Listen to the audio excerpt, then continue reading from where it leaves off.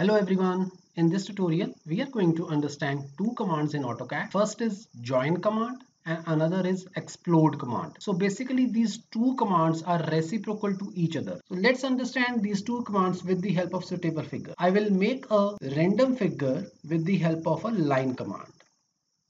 If you select any one line, you can easily see that all lines are separate. But you can make these separate lines into one polyline with the help of join command. So let's write join in the command line bar and enter. Now select all the lines and enter.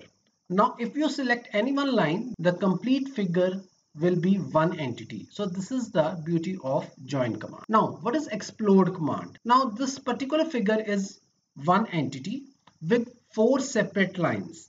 Now, if you want to explode it again back into separate lines, you can use the explode command. So here we have a symbol of the explode command in the modify toolbar. To understand explode command, I will select this figure. Just press the explode symbol. Now you will see that your this particular one figure is again back to four simple lines. So this is the explode and join command in AutoCAD.